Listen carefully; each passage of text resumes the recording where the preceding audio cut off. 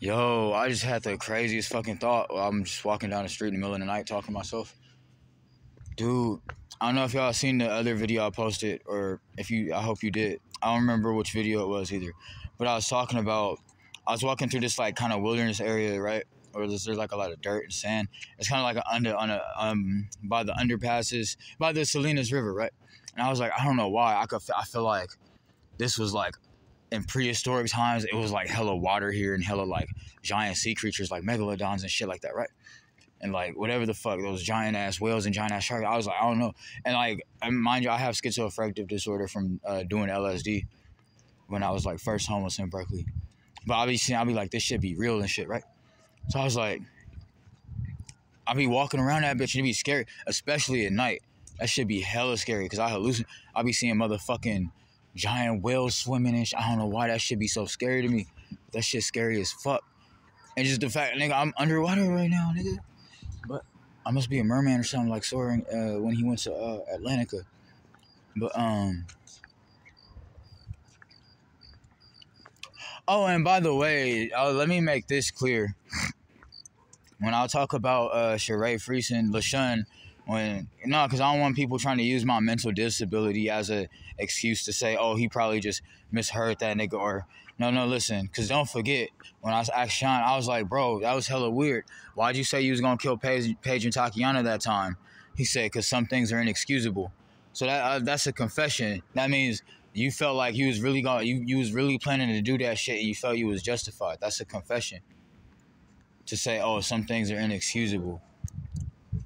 Right? I don't need to go into these. No, I'm so used to, I be so, I be I be forgetting like my gang ain't slow. I don't gotta be hella repetitive and shit like that.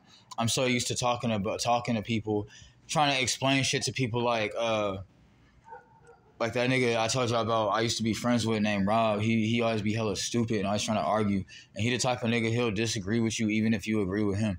I don't like dumb niggas like that. I can't stand a dumb motherfucker like that. That ain't about shit, just wanna argue all day. I can't stand he one of them type of dumb motherfuckers.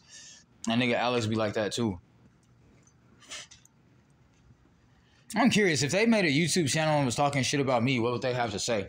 Like that dude, uh, Shotty, that wanted to fight me that one time, just because I wouldn't say hi to him. If he was to get on YouTube and and try to say anything about me, what would he say? I wonder. Will he even have anything to say? That nigga barely even knew me. I was like, dude, I didn't even know you like a whole month, bro, and I don't even know you like that. You just kind of know some people that I know. We was never like I was like, why is this nigga so angry and hostile? Because I didn't, you didn't even know me for hella years like that to be taking that shit hella personal.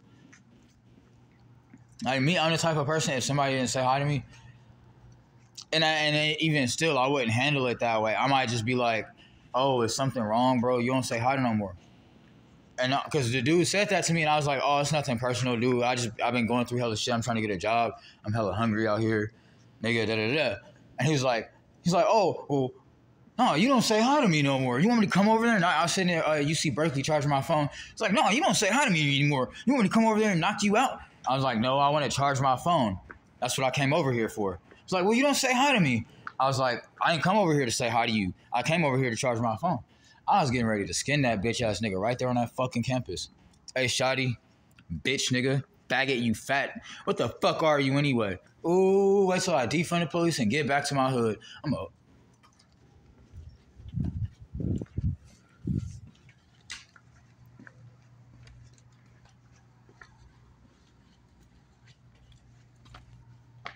Hey, what a coincidence. Wasn't I just talking about some pizza?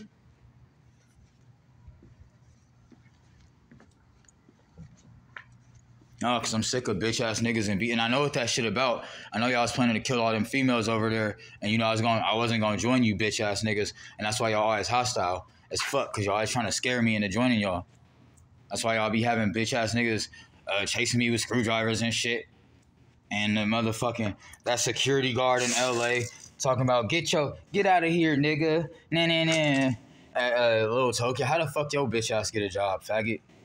How that retarded ass nigga get a job? I'm about to start. Yo, boys, deep. Well, let's get to subtracting.